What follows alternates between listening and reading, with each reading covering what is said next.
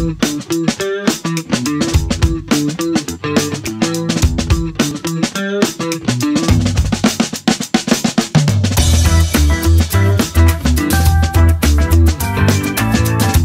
guest today is Tudor Damian.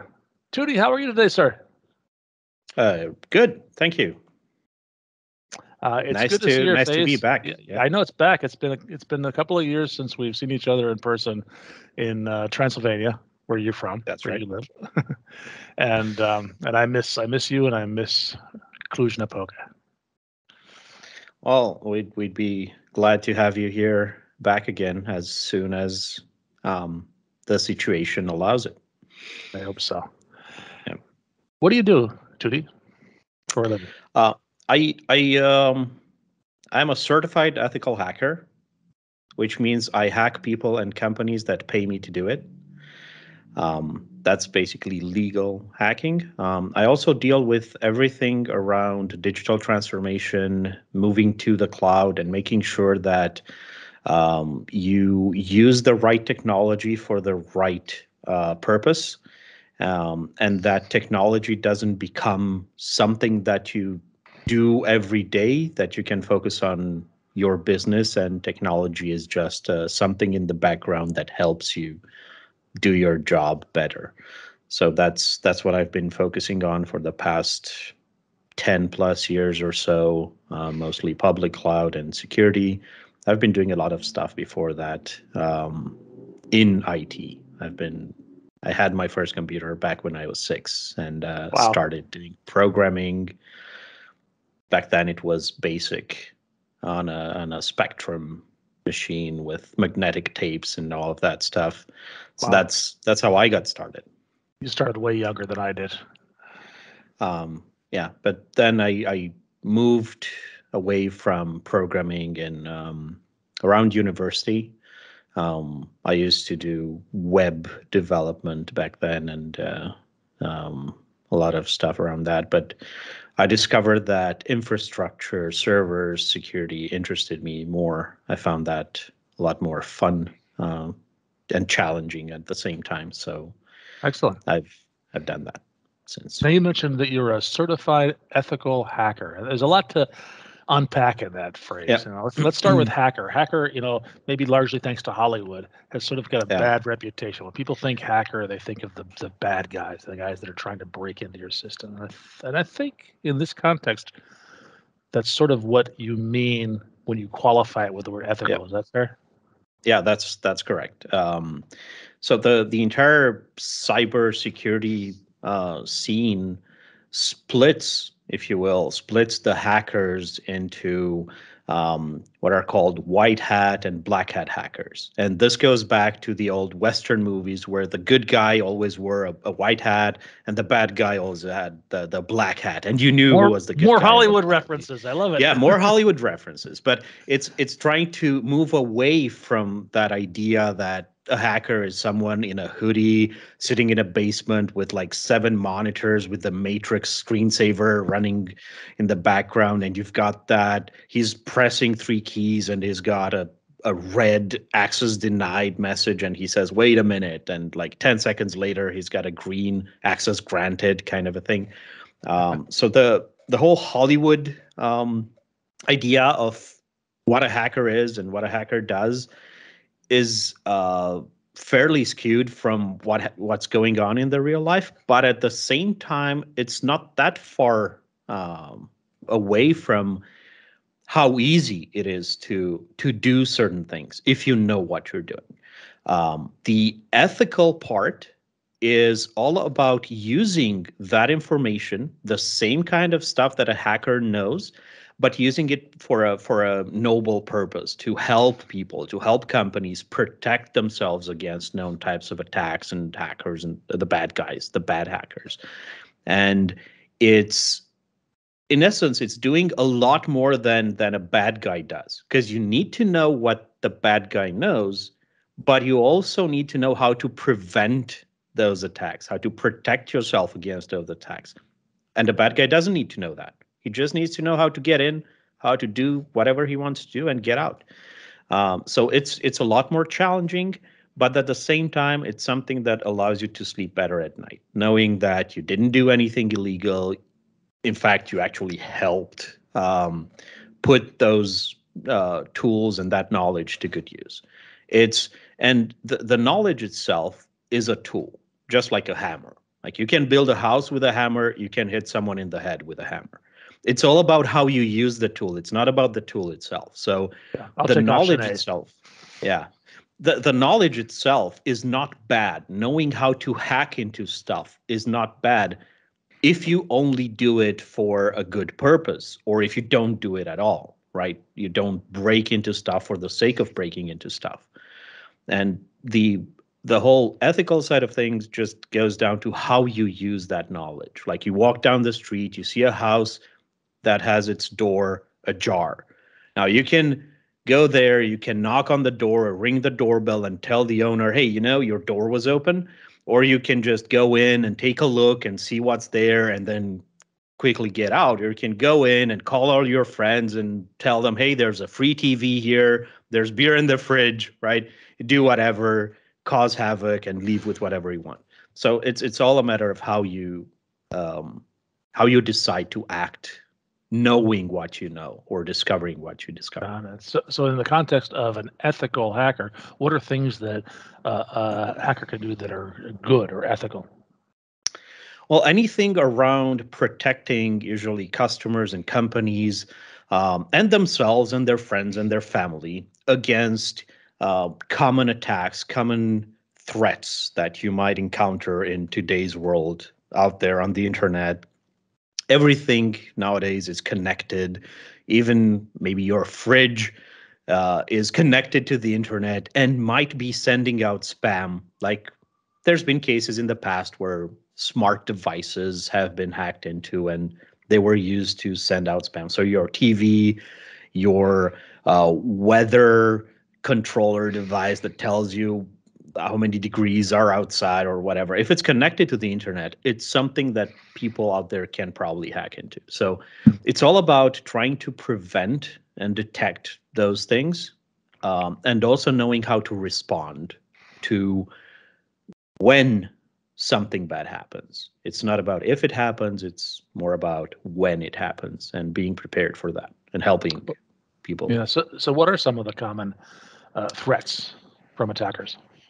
Um, the the problem is that these kinds of attacks or these kinds of threats rarely change fundamentally. It's more about people not knowing how to use technology or using it wrong and the attackers are going for either um, something that people usually do and they do um, in a way that's easy to to exploit like the way you set your passwords.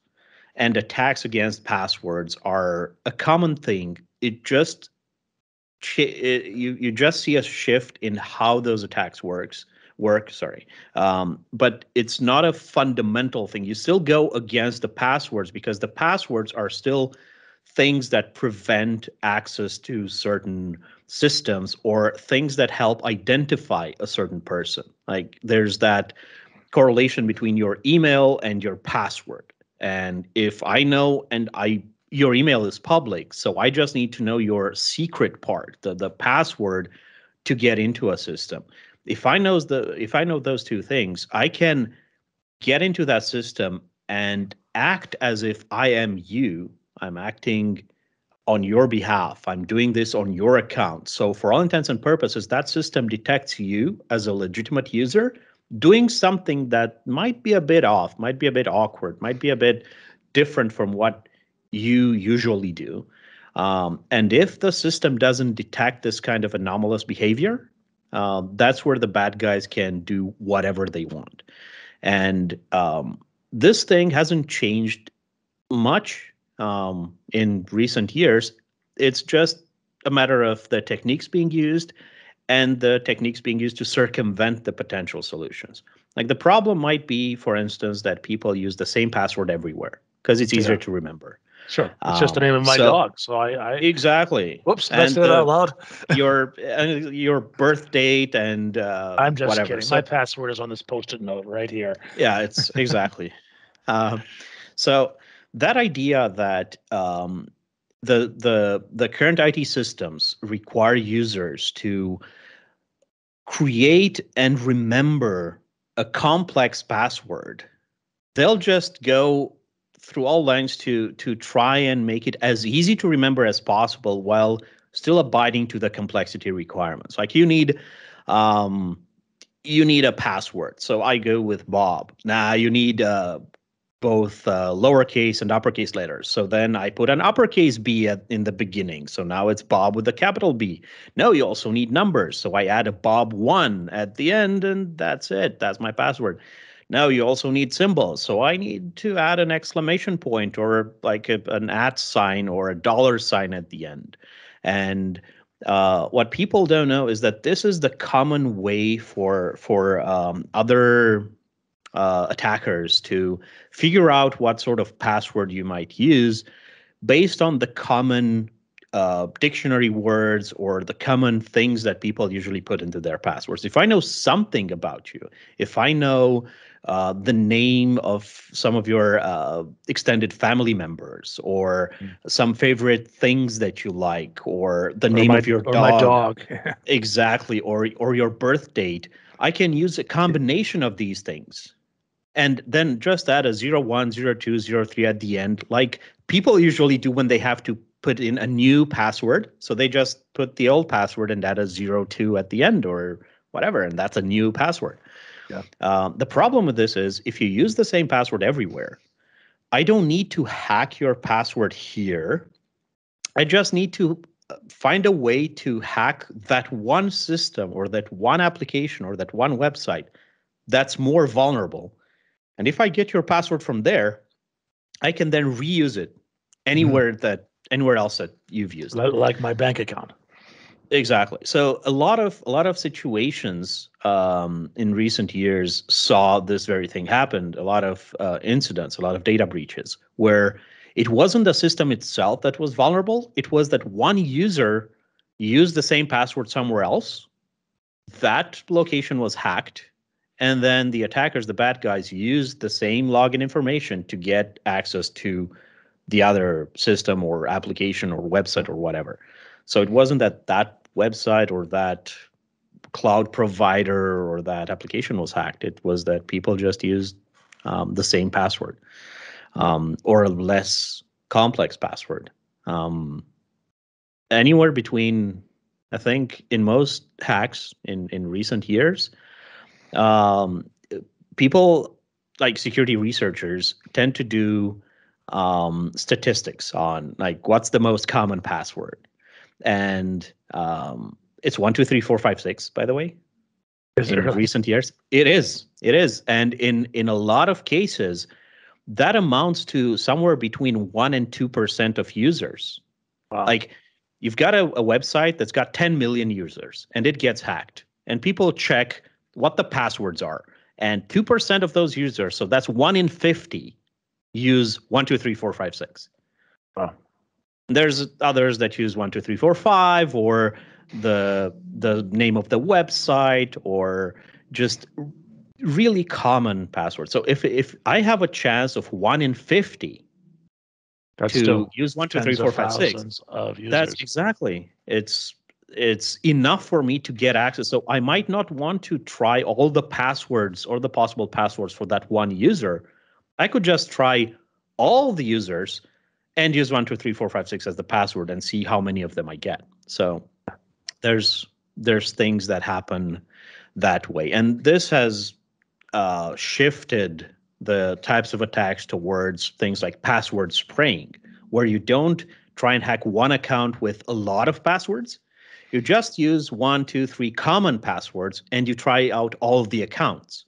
Because now you've got a lot of systems that have a lockout mechanism. Like if you try three, four, five wrong passwords, you get locked out. So if I want to avoid that, I just try one password. I just try one, two, three, four, five, six. And if it doesn't work for this user, it might work for the next one. It's just every user in the system trying out one password from the system's per- perspective. It's not a, a bad guy trying to figure out a million passwords, a million different combinations for one password.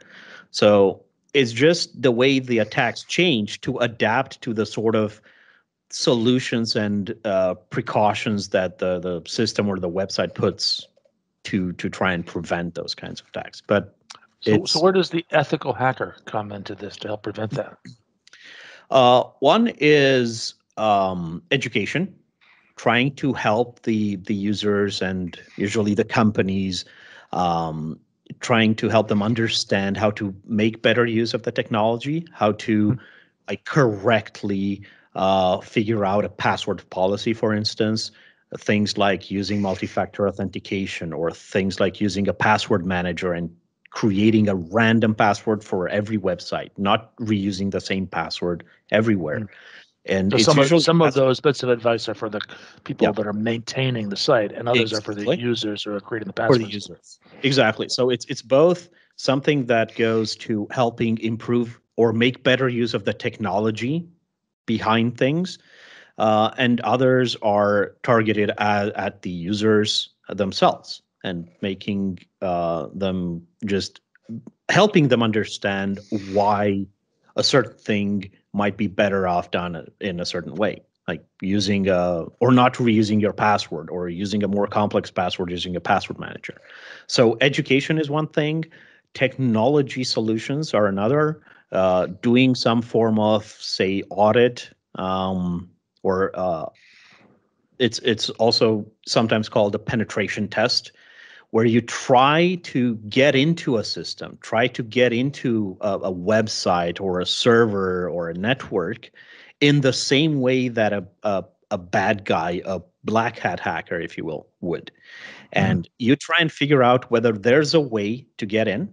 And if there is, it's better off for you to find it early than uh, waiting until one of the bad guys finds it usually with some automated tools left overnight and by morning they just check and see how many other servers and websites they've hacked overnight.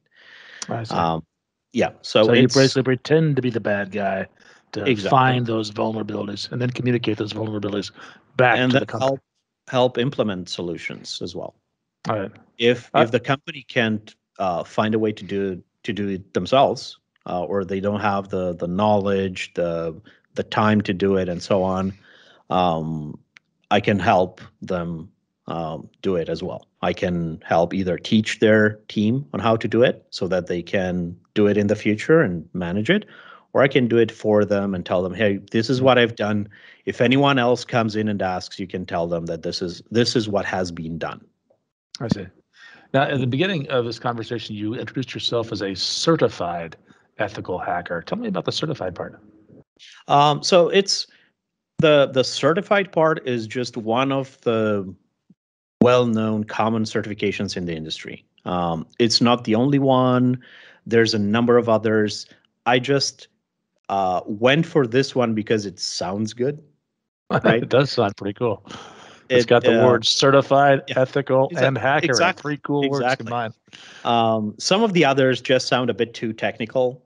Um, and the the certified part means that yes, I went ahead, I took an exam, um, and it's the kind of exam that you spent. I think it was a four-hour exam or something mm-hmm. like that.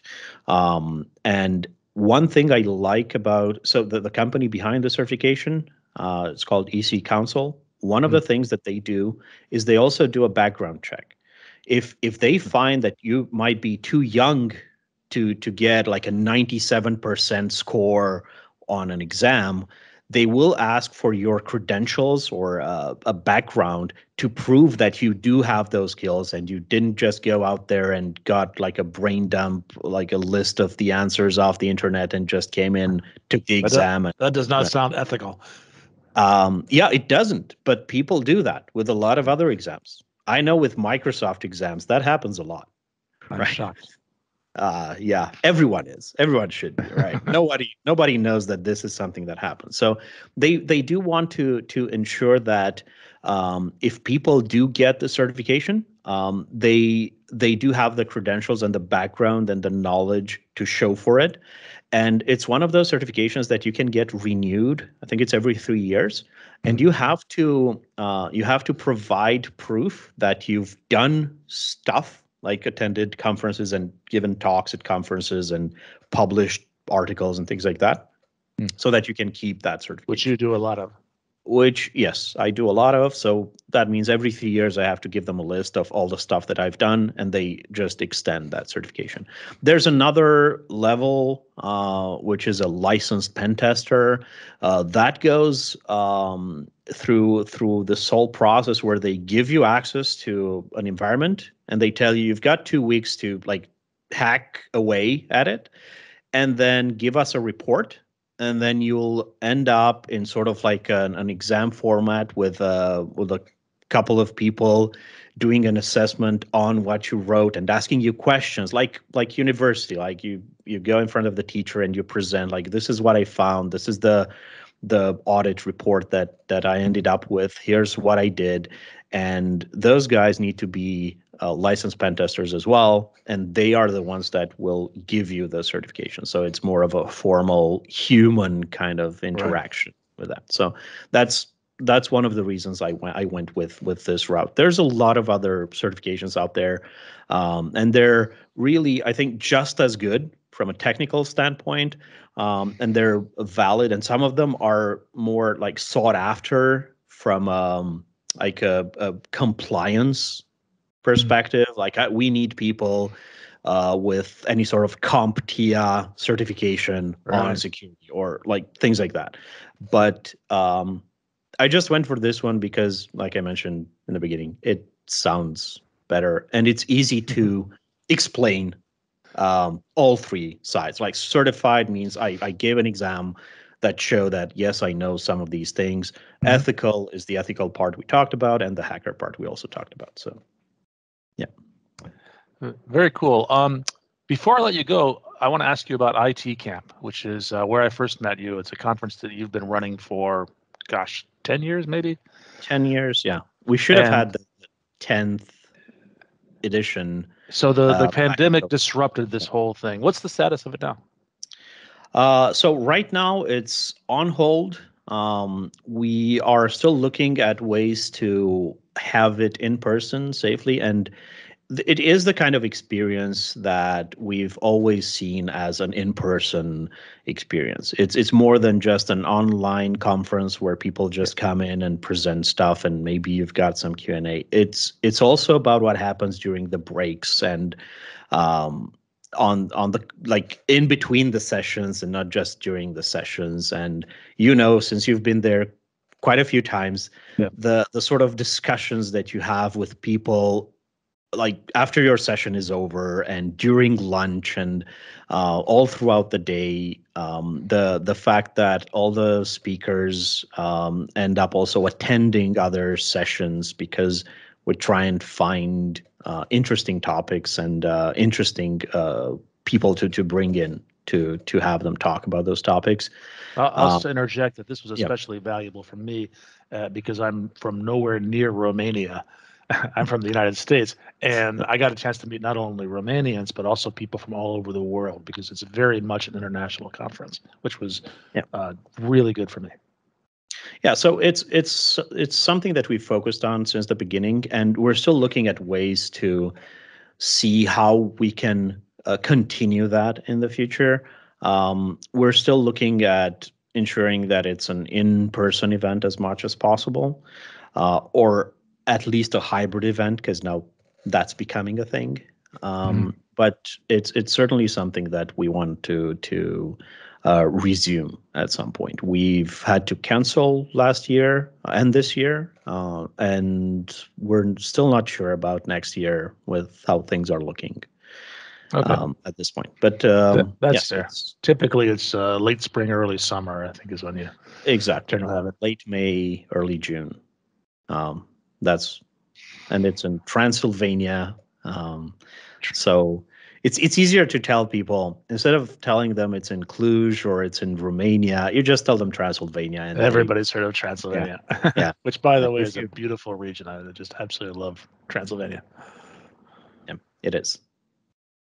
Is there anything we haven't discussed that you think we should?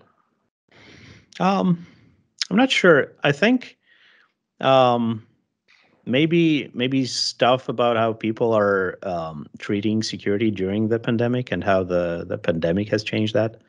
Because I think that's um, that's one of the most common topics I I discuss nowadays with people. Like, is there something about the the pandemic that has changed or shifted in the way of how we do security or how we handle security? Well, um, well, we're almost at time, but uh, if if you have a, a quick elevator pitch about what's different, yeah, sure. Then, then we can um, we can maybe make this another conversation. Go in depth. I mean, sure. It's it's certainly something that uh, is to be kept in mind. That yes, the the pandemic has changed the way we look at security, the way we look at remote work, and how do we ensure that people say working from home uh, have the same level of security on their devices and on the systems that they work from or connect to as they used to do back they back when they were in the office.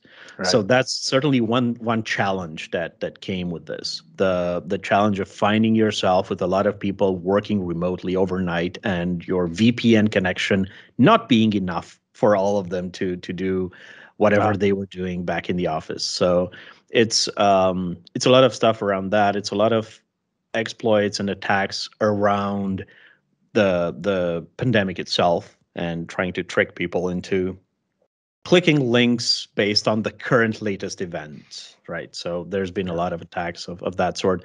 But it's mostly uh, both people working from home and the IT staff working from home and not being there when stuff happens and um, not being always present and always monitoring everything like they would back when they would work from the office. That's also affecting the the way attacks work. It's easier to start an attack on times that you know people are going to be off hours and away and uh, just do whatever you want to do without getting caught so yes, there's there's been changes and there's been solutions to that as well and approaches to that as well. But um, um, it's certainly a shift that that a lot of people are seeing, and a lot of people went as far as trying to figure out on their own what they can do better when it comes to security. It's it's also about personal security and the the way I usually talk about this in um, um, in any trainings or like with with people that I, I discuss the topic with it's more important for people to understand how security affects them on a personal level because that's when they will put in the effort to ensure that the like company data and company devices are just as secure because once mm-hmm. you know certain things and once you know how security can affect you personally it's stuff that you can't ignore anymore wherever you go work or wherever you go like on vacation or like using a personal device and using a work device is just the same as long as you know what could happen it's hard to ignore it in a personal or professional um, environment I'll tell you what. This sounds like a really deep topic, so I'm, I'm going to cut you off there, and let's uh, let's talk about this in a few months, and because uh, I think we can go dive sure. deep. It sounds really fascinating. I, I, I would I would. It'll give us a it'll give us an excuse to chat again, which we don't do often enough. I would love that. And in the meantime, Tudor, thank you so much for your time and uh, you stay safe. Yeah, thank you. You too.